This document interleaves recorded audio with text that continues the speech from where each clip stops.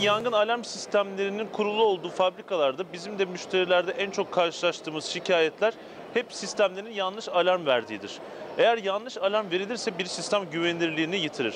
Yangın algılama ve ihbar sistemleri zaten pratikte e, normalde aslında binadan çalışanların ve personelin tahliyesini sağlayacak sistemlerdir. Yani bir yangın çıktığını düşünün.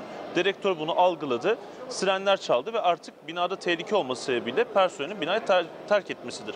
Ama yanlış alarmlar aslında fabrika içindeki ortam koşullarından, toz, duman, buhar, herhangi bir şeyden dolayı dedektörlerin bunu yangın alarmı olarak algılaması sebebiyle ortaya çıkıyor.